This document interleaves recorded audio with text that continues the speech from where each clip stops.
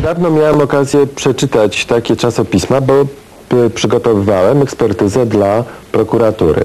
Co prawda nie wiem jaki jest dalszy los, czy sprawa jest, czy nie ma. Jak wszystkich E, to już kolejna i mu- musiałem te pisma przeczytać. I tam my wspomnieliśmy tutaj o rasizmie i antysemityzmie, bo te postawy się ze sobą bardzo ściśle wiążą. E, I rzeczywiście tam po prostu w tych pisemkach narodowych, antyżydowskich, rzecz jasna, antysemickich jest również antyrasizm. Bo tam jest nawiązanie, czyli rasizm, prawda, są anty, w tym sensie anty, są przeciwko e, kolorowym. Kolorowy jest zły, prawda, jest gorszy i powinien znać swoje miejsce. Ale dalej twierdzę, że to są po prostu, jeżeli to porównamy z e, analogicznymi społeczeństwami zachodnimi, gdzie ta demokratyczna i ta mentalna, kulturowa przemiana nastąpiła znacznie silniej niż u nas, prawda? E, To to są grupki bardzo nieliczne. ja się że- zgadzam ja się zgadzam, inną że- sprawą, że, że- dajcie mi powiedzieć jeszcze jedno zdanie. Ja się zgadzam tutaj z profesorem Jedlickim, który reprezentuje tutaj organizację, której też jestem członkiem, współzałożycielem, że, która się ciągle domaga, żeby te sprawy były doprowadzone do końca, żeby były procesy, żeby były wyroki, które powinny zapaść, choćby nawet symboliczne. One nie zapadają. Ale dalej twierdzę, że jeżeli rozpatrzymy to w zakresie ilościowego rozpowszechnienia tego, to mamy do czynienia naprawdę z y, zjawiskiem bez porównania mniej licznym niż choćby za naszy, u naszych zachodnich sąsiadów. Ja, ja się panem zgodzę, tylko że myślę, że jedną rzecz trzeba, ja jestem na tym punkcie bardzo wyczulony, że w Polsce, Polska zawsze była w, widziana i Polacy widzieli się zawsze w kontekście ofiar faszyzmu, tak? To, to nie był nigdy polski problem, więc wydaje mi się, że to, co się teraz rodzi u nas i się rodzi rzeczywiście, te grupki są, one są małe, nieliczne, ale mam wrażenie, że z roku na rok jakoś tam coraz sprytniej i sprawniej działają i jeżeli jakby y, Polacy sobie nie uświadomią, że ten problem nas też dotyka, że my Polacy też możemy być faszystami, nacjonalistami, rasistami, no to to może być problem w skali paru lat, tak? Jeżeli prześpimy i uznamy, że to jest jakby jakieś tam marginalne, nie tak duże jak Niemcy, bo to ci Niemcy są przecież tymi faszystami, a nie my, no to za parę lat możemy mieć po prostu duży problem, tak? Jeżeli się w porę nie ja się zorientujemy. zgadzam. to jest Jeżeli tak niepokój dotyczący postawimy przyszłości, sprawę, tak? Ale myślę, że nie wcale jakieś dalekie, jeżeli tak jeżeli postawimy naprawdę nie... sprawę, to oczywiście to jest bardzo ważne. No dlatego też powiedziałem, że e, to jakby potraktował głos profesora Jedlickiego polega głównie na tym, że to jest sprawa, której nie możemy pomijać. To jest sprawa, którą powinniśmy rozważać e, wprost. Nie mówiąc już o tym, jakby, jak na to odpowiedzieć, e, jak- jakby powrotu też pewnej tradycji, zwłaszcza tej tradycji narodowo-demokratycznej, endeckiej, która jednak jest rozpowszechniona w pewnym segmencie polskich katolików, jest tolerowana w sposób, który nie powinien być do, do tego stopnia dopuszczalny po prostu. Jest inna kwestia dyskutowania, pozyskiwania tych ludzi, przekonywania, ale jednocześnie to jest tak, że tutaj jakby w ogóle uznaje się za pewną normę możliwości powiedzenia pewnych rzeczy i to jest skandaliczne. jest. E, e, nie chodzi tylko o retorykę, aczkolwiek retoryka i styl i wypowiedzi i wypowiedzi rasistowskie e, są bardzo pod, nie tylko rasistowskie, w, przeciwko gejom, przeciwko kobietom często To jest to, co pan w różnych sytuacjach. Mówił, To jest, ta, tak? to jest bardzo podobna retoryka do tra- klasycznej, tradycyjnej retoryki antysemickiej.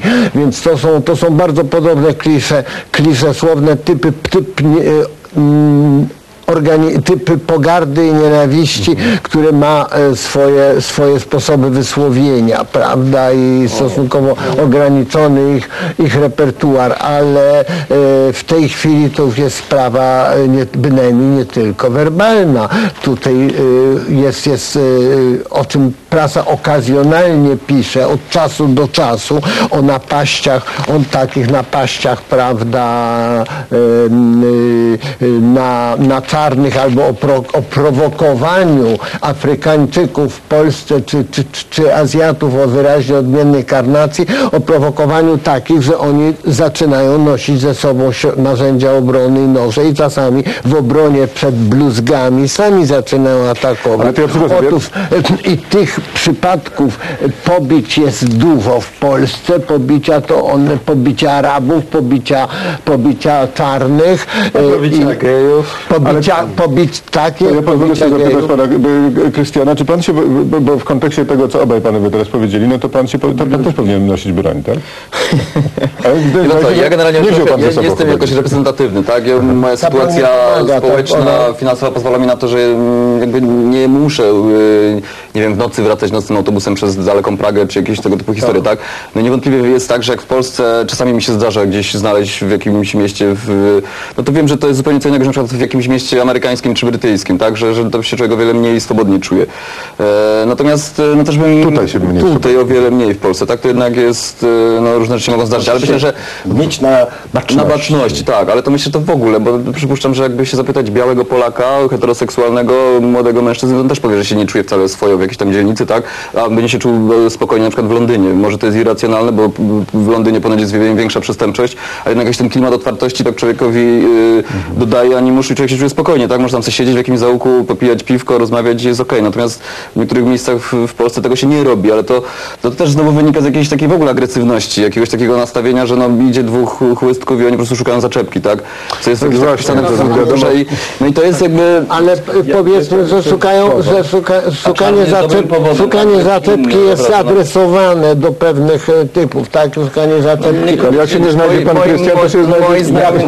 Ja Jak biała dziewczyna idzie z czarnym e, chłopakiem, to jest doskonały powód do szukania zaczepki, prawda? powiedzenia coś o niej tak, sądzi, nie? t- tak, no właśnie. tak, to z całą Natomiast pewnością. dl- e, na, pod jej adresem. Natomiast jak będzie szło normalna warszawska para, prawda, to taki, to jakoś te, te buty e, zaczepiających tak bardzo nie prowo- nie, nie, nie prowo- Ja bym chciał Pan- powiedzieć jeszcze jedną rzecz, tak, a mianowicie, że po prostu te postawy właśnie nienawiści, zresztą tutaj e, no, bardzo chciałbym podkreślić to, co powiedział profesor Jedlicki o tym, że ta tradycja, do której, o której mówiłem, tradycja endecka dostarcza języka, który teraz służy już nie tylko do potępiania czy poniżania Żydów, których fizycznie ma, jest niewielu, mało, prawda, ale jest używana do zaspokoić. potępiania i poniżania innych, prawda?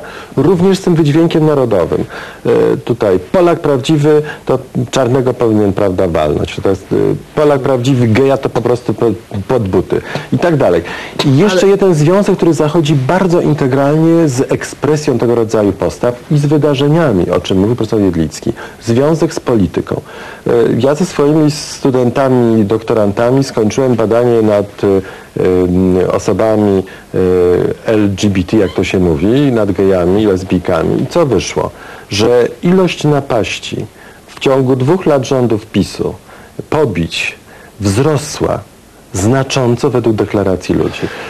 Pod nowym Zatrzymamy się rządem ona znowu spadła. Proszę panów, y, y, czas nasz niestety y, dobiegł końca tej rozmowy. Bardzo panom dziękuję za tę rozmowę. Myślę, że zostało tutaj po- powiedziane parę rzeczy ważnych. Znaczy, po pierwsze, że e, bardzo chcę podkreślić, że jeden z naszych gości był jednak optymistą ostatecznie. Pesymistą był jeden i jeden widział problem. I niechże, niechże ta, ta, ta mieszanina optymizmu i niepokoju e, będzie puentą naszej rozmowy. Bardzo Państwu dziękuję za uwagę. Do zobaczenia.